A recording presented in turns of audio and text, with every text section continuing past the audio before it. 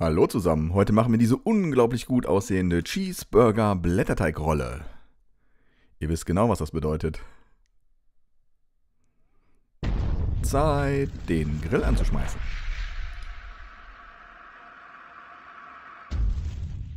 Wir beginnen unser heutiges Rezeptvideo mit einer gusseisernen Pfanne. Die gusseiserne Pfanne wandert auf mein Seitenkochfeld, dann gebe ich etwas Rapsöl hinein und brate dann darin etwa 800 bis 900 Gramm Rindergehacktes an. Dazu wird sich das Ganze mit etwas Barbecue Rub. Die Rezeptmenge für unsere heutige Cheeseburger-Rolle bezieht sich auf zwei Rollen. Also in dem Fall brauche ich so circa 400 Gramm Hackfleisch pro Rolle. Sobald das erfolgt ist, nehme ich meine gusseiserne Pfanne wieder vom Seitenkochfeld herunter und setze das auf meinen Gasgrill bei indirekter Hitze und halte das Hackfleisch noch warm.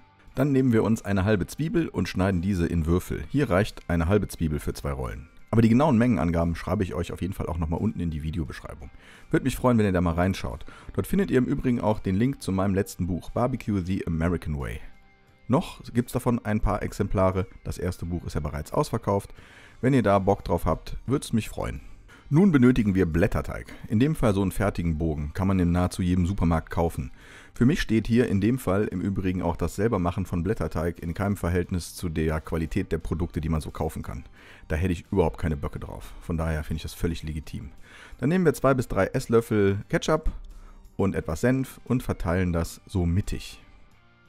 Die Idee ist, die Füllung in der Mitte aufzutragen und die Seitenränder freizulassen. Hier wäre es gut, wenn man nicht zu sehr in die Höhe baut. Ich fange jetzt zum Beispiel mal mit dem Hackfleisch an und gebe so die erste Hälfte, 350 bis 400 Gramm, auf die Soße und danach drücke ich das so ein bisschen platt. Jetzt hat man auch mal die Möglichkeit, nochmal zusätzlich Hackfleisch aufzuschichten. Ja, ist ganz schön frostig bei mir gerade.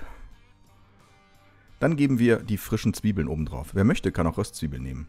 Grundsätzlich ist natürlich alles erlaubt, was jetzt auf einen Burger passt oder was ihr gerne auf Burgern habt. Man könnte auch krossen Bacon da reinbröseln oder sowas. Ich habe mich dazu entschieden, noch Burgergurken aufzulegen und natürlich einen Käse, in dem Fall Cheddar. Er hat immer einen tollen Geschmack und vor allen Dingen aber auch eine sehr coole Farbe. Jetzt nehme ich ein scharfes Messer und schneide so von der Mitte weg, jeweils in unregelmäßigen Abständen, so alle ein bis zwei Finger breit, meinen Blätterteig ein.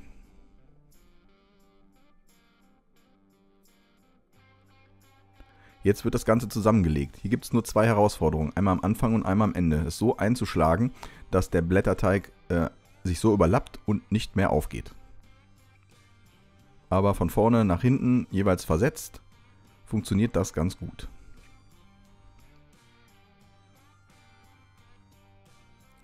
Also kein Hexenwerk. Jetzt stellt sich nun noch die Frage, wie kriegt man das eigentlich vernünftig auf den Grill und wieder runter? Mein erster Step ist, ich schneide das überschüssige Backpapier weg. Dann habe ich nur noch am Ende meine Blätterteigrolle in der Mitte liegen. Das zweite ist, ich behelfe mir mit einer Zedernholzplanke oder einem Flammlachsbrett oder ähnlichem. Das ist super einfach und dann kann man die Blätterteigrolle einfach so anheben und auf die Zedernholzplanke setzen. Das war's schon. Jetzt bepinseln wir das Ganze noch mit etwas verquirltem Ei. Wer möchte, kann auch nur Eigelb nehmen. Gibt auf jeden Fall am Ende eine sehr schöne Farbe. Wenn ich Cheeseburger selber mache und auch Brötchen selber backe, darf Sesam nicht fehlen, also werde ich auch hier einmal die Blätterteigrolle mit ein paar Sesamkörnern überziehen. Damit der Blätterteig gelingt, brauchen wir jetzt einen Grill, der über einigermaßen Power verfügt. In dem Fall ist das jetzt hier mein G&G Pellet Grill. Das funktioniert wunderbar, denn das Umluftprinzip, ähnlich wie im Backofen, funktioniert bei diesem Grill auch ganz hervorragend. Jetzt regeln wir den Grill hoch auf etwa 190 Grad Celsius und lassen dann unsere Blätterteig Cheeseburger Rollen für etwa 25 bis 30 Minuten grillen, bis der Blätterteig aufgegangen ist und eine einigermaßen schöne Farbe hat. Das Ergebnis ist wirklich super. Ich finde geschmacklich toll, ich finde es optisch toll und es macht auch noch ein bisschen was her, wenn man da so kleine Stücke von abschneidet. Also meine Kinder haben das auch geliebt. Sieht auf jeden Fall, wie ich finde, richtig, richtig geil aus.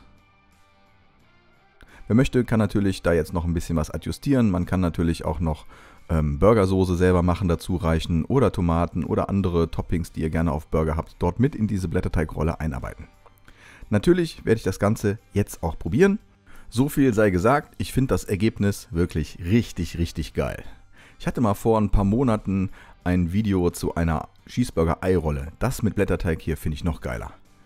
Teilen, liken, kommentieren ist immer gern gesehen. Falls ihr noch nicht Abonnent seid, wäre es cool, wenn ihr das noch nachholen könntet. Ihr verpasst so kein Video mehr. Besucht doch auch meine Fanpages. Vielen Dank fürs Zuschauen. Ich bin raus. Euer Markus.